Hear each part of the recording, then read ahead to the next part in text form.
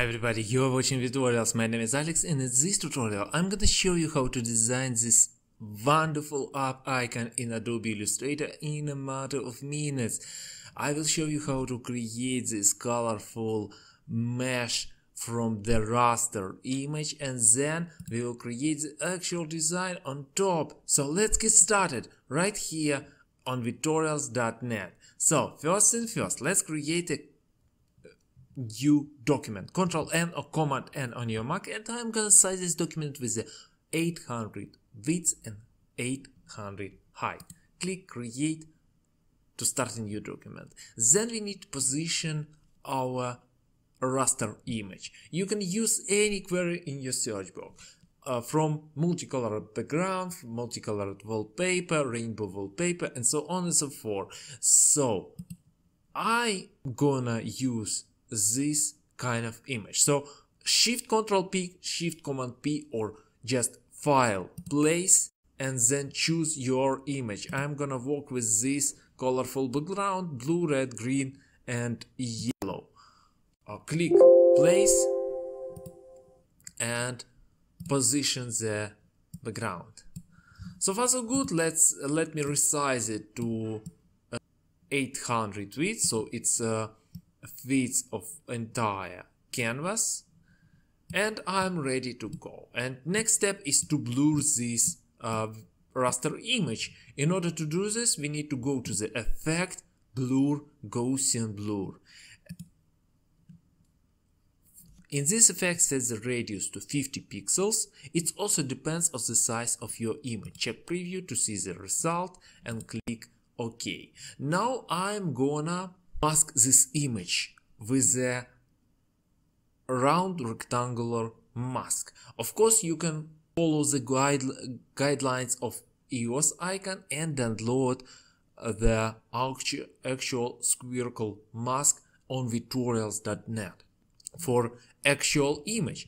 But I'm gonna save you and my time, grab the rectangular tool and create First of all, a rectangle holding shift key.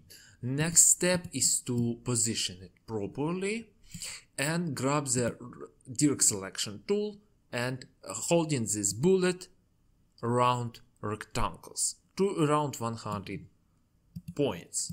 So far so good. I'm ready to select everything by drawing a marquee and then use your my right mouse button key to make clipping mask.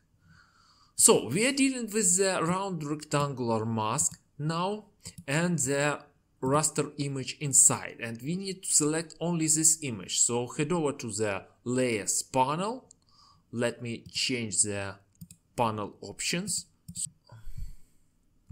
so you can see it more clearly. So let's go to the actual mask. Select this mask, then deselect this uh, select this mask. Click on the chevron icon to open this mask and select the actual raster image. Only raster image should be selected. Now with this raster image, go to the object, object create gradient mesh. In open dialog box, I'm gonna leave all values as a default. So I have the rows set to 4, columns to 4, appearance to flat and highlight to 100%. Click preview and click OK.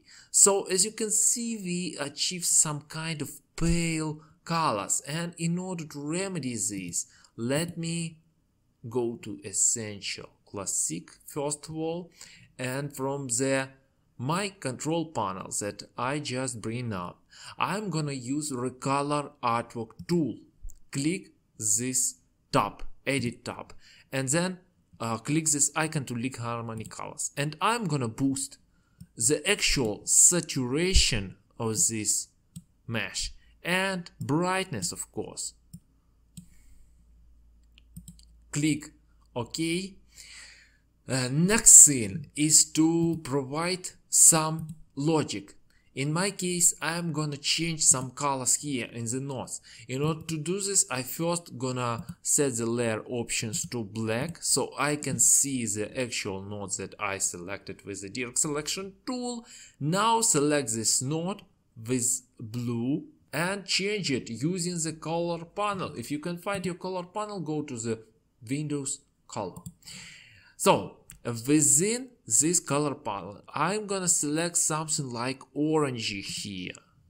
Then I'm gonna navigate here and get rid of this greenish color and provide some more apple, uh, uh, yellow. Uh, from this, I'm gonna set more green yellow and for that I'm gonna use some like green next in my list on okay um, let's say on this orangey I'm gonna use only cold colors on my bottom. So um, I'm gonna navigate to purple provide a purple and here I want to select some kind of maybe even pinkish not not pinkish maybe uh, some something really dark. Okay and uh, here I want to smooth the transition by providing some more smooth color just like so. So I achieved the excellent result. I'm pretty satisfied and I'm ready to go to the next step in our tutorial create the actual design. In order to do this we need to grab the ellipse tool or click L. Hold shift hold alt or simply shift to select to draw a circle I'm gonna position a circle on the top right maybe here so within this, uh, keep selected the circle and head over to the gradient panel. Uh, I'm gonna undock this panel to focus more clearly. Click, uh, click on the gradient slider to apply the gradient to the fill. Then click G on your keyboard to uh, bring up the to grab the gradient tool and align your gradient from the top left to bottom right. And on bottom right should be your darkest color. Okay uh, next thing is to select actual uh, black color and uh, using this opacity slider set it to zero. So we have white on the top left and 100 transparent or zero opaque on the top uh, bottom right. This is what I get. And since I get an opaque color on my top left I'm gonna arrange other duplicates accordingly by grabbing the first rotate tool so grab the rotate tool and uh, the way you position the cursor depends whether you want to create a hollow center or not. If you want the hollow center like I did before in this composition, you need to position the cursor outside your circle, somewhere here in this area. If you want to uh, hollow circle and create a fillet, you need to position uh, this cursor on the edge of your circle. Uh, in this case, I'm gonna create this circle, uh, the cursor, the point of my transformation to the center holding Alt or Option key. So hold Alt or Option key on your Mac. Click your left mouse button key to bring up the rotate dialog box. Set the angle to negative 30. Again, it depends whether where you uh, set your transparent part. If your transparent part is on the bottom right, like it is for me, you need to set your angle to negative 30. If it's on the top left, for example, you need to set your angle to 30. And it also depends on what how many duplicates you want to create. In my case, I'm gonna create 11 duplicates and totally 12 circle. Click copy to create first duplicate and then Ctrl D Command D to repeat this operation over and over again until you have your 12 uh, circles. Next thing is to, well, we need to first lock a background artwork by clicking on this uh, free space between um, icon and airball. And uh, next I'm gonna draw a marquee and select everything else. Ctrl G Command G to uh, create a group then I'm gonna scale it uh, down and uh, next thing is to create a actual duplicate. Control C control B to create the duplicate on the bottom. I'm gonna use the pathfinder panel to unite this but before I want to see what I am uh, achieving during this transformation. So I need to log first of all the my original file and then I'm gonna also hide it. So this is my duplicate. Let's see. Uh, first of all run a unite pathfinder command. If you can find your pathfinder go to the windows uh, path uh, uh, run a unite command. And next grab the uh, shape builder tool. Click shift m to grab the shape builder tool and then with the shape builder tool we need to get rid of this hollow center. We receive this kind of shape. We need to then grab the and uh, set a solid color to this uh, shape. Double click on to bring up the color picker and uh, position it to the white, area. So absolute white all f on your hexadecimal value. Click ok.